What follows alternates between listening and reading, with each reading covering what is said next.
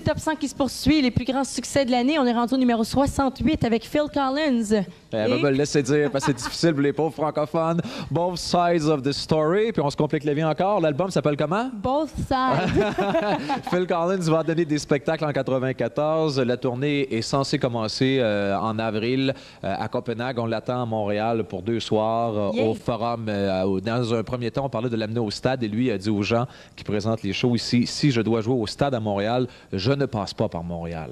Parce très que je pense qu'il n'a sage. pas aimé son expérience avec Genesis, Genesis, en non. 92. Sage décision, Il y a numéro aussi, 67. ben oui, euh, Martine Sinclair qui sort Gino Vanelli des Boulamites avec l'adaptation française de quelle chanson, Véronique? Wheels of Life. Exactement. C'est L'amour et loi, extrait de son album compilation Un souffle de tendresse. C'est la seule pièce originale. D'ailleurs, Martine Sinclair prépare un album. C'est prévu pour le printemps 94. Et en 67e, c'est U2. 66e. 66e U2 avec Lemon. Voici donc U2, Martine Sinclair, Gino Vanelli, mais d'abord, c'est Phil Collins. Collins.